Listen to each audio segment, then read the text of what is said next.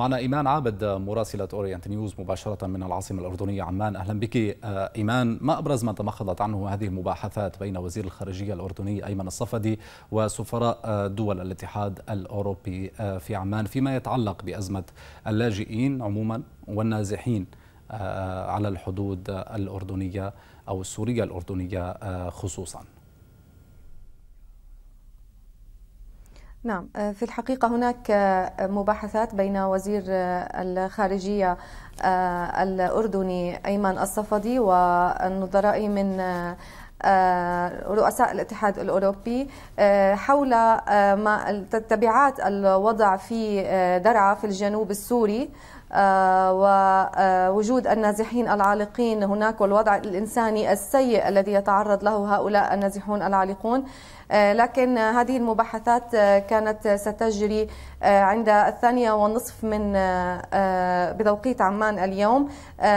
ونحن بانتظار التصريحات التي ستتمخض عنها هذه المباحثات.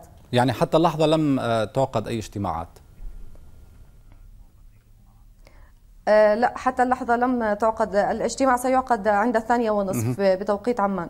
نعم يعني بعد تسع دقائق تقريبا. طيب إيمان آه، فيما يتعلق بموقف الأمم المتحدة هل من بوادر لإدخال المساعدات الخاصة بها إلى آه، الجنوب السوري خاصة آه، وأن هناك إشارة إلى موضوع فتح الحدود وهو القرار السياسي، هل تنتظر الأمم المتحدة أي قرار سياسي قد يتخذه الأردن مع النظام في سوريا وبالتالي إدخال المساعدات بعد ذلك أم ماذا؟ آه، في الحقيقة جرى هناك مؤتمر صحفي اليوم عند الحادية عشرة بحضور وسائل إعلام عالمية وعربية ومحلية. آه، أجرته الأمم المتحدة ممثلة بالممثل الأممي آه، منسق الشؤون الإنسانية أندريس بيدرسون.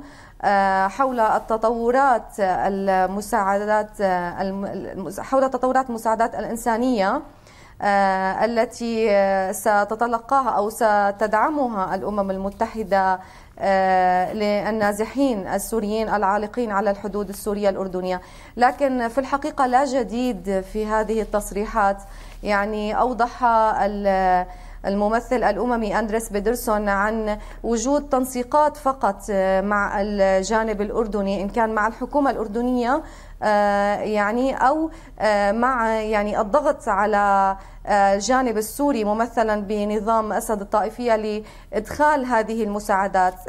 أيضا أوضح عن وجود ثماني شاحنات مليئة بالمساعدات بالغذاء والدواء. لتستعد للدخول إلى الداخل نعم. السوري. لكن هم ينتظرون أوامر لدخولها يعني لم تدخل هذه المساعدات. أيضا لم يصرح عن وجود مساعدات في الأيام القليلة الماضية. يعني بس أوضح عن وجود تنسيقات مع الحكومة الأردنية لا أكثر ولا أقل. نعم سنرى ما سينتج عن هذه الاجتماعات كافة. إن كانت على الصعيد الأردني الأوروبي أو حتى على صعيد الأمم المتحدة. أشكرك إيمان عابد مراسلة أورينت نيوز على ما قدمته من معلومات. كنت معنا مباشرة من عمان.